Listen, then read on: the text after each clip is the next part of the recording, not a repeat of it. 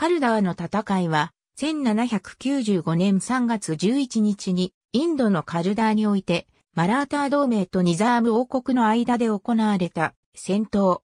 この戦いは、マラーター軍が勝利し、敗れたニザーム側は大規模な領土活動と莫大な賠償金を支払わされ、後に同国がイギリス保護下の反王国となる契機となった。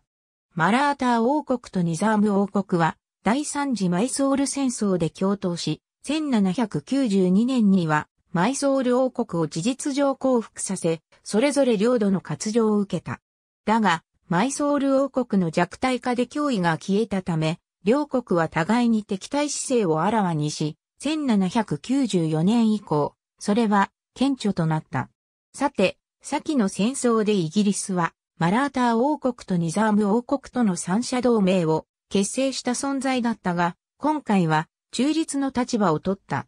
強大なマラーターに対し、ベンガルと南インドで覇権を握りつつある英国も脅威と感じていたが、ベンガル総督、ジョン・ショアは、ニサームとフランスとの関係を見て、両者の争いには中立の立場を取るように方針を取った。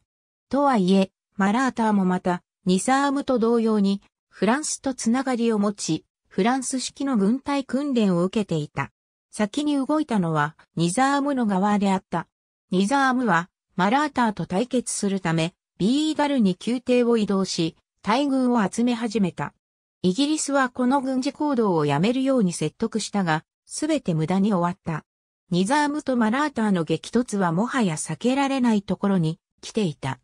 同年12月、ニザームの軍勢はビーダルを離れ、マラーター王国の最小府プネーに向かって進撃した。ニザームの軍勢はゆっくりと進行し、これに対しマラーター軍も迎撃に向かった。ニザームの軍9万人から11万人に対し、マラーター王国の軍勢は、有力諸侯シンディアや、ホールカルケ、ボーンスレー家の援軍も加勢していたので13万人であった。両軍ともに、軍勢の進行は遅く、ニザームの方はハーレムを連れ、狩猟をしながら進軍していた。この間、双方は賄賂と諜報活動を通して相手の軍を錯乱にさせようとした。ニザームはマラーター側の諸侯シンディアカ、及びマラーター側のフランス人軍事顧問を買収しようと1万ルピーを費やした。マラーターもナーナー・ファドナビースのもと、ニザーム側の同調者に声をかけ、こちらは7万ルピーを費やした。1795年3月11日、マラーター軍とニザーム軍はカルダーの地で激突した。マラーター側の騎兵による攻撃は強力で、ニサーム側は内部不統一もあって有効な反撃もできず、その日のうちにマラーター側の勝利が決まった。ニザームは砦に逃げたものの、ここにニザーム側も敗北を認め、13日からマラーター側と和平交渉を行った。ニザームはイスマーイール・ハーンパニーに交渉を任せ、ダウラとラオシンディアの代理と話をつけようとしたが、拒否されたため、この戦いに参加していたホールカル家の若者や手腕と、ラオ・ホールカルに希望を託した。この交渉には、ニサームのヒンドゥーの家臣で、アヒリアーバーイ・ホールカルとも友好な関係にあった、チンターマン・ラオ・カーニトカルが交渉に当たった。4月10日、カルダーの戦いにおける、講和条約、カルダー条約が結ばれた。この条約では、ニザーム王国は、マラーター王国に、ダウラターバード、アウランガーバード、アフマドナガル、ショーラーアップルなどの地を割譲し、3000万ルピーという多額の賠償金を支払うことが取り決められた。このうち、1797年に、アフマドナガルはマラーター王国からシンディア家に割譲された。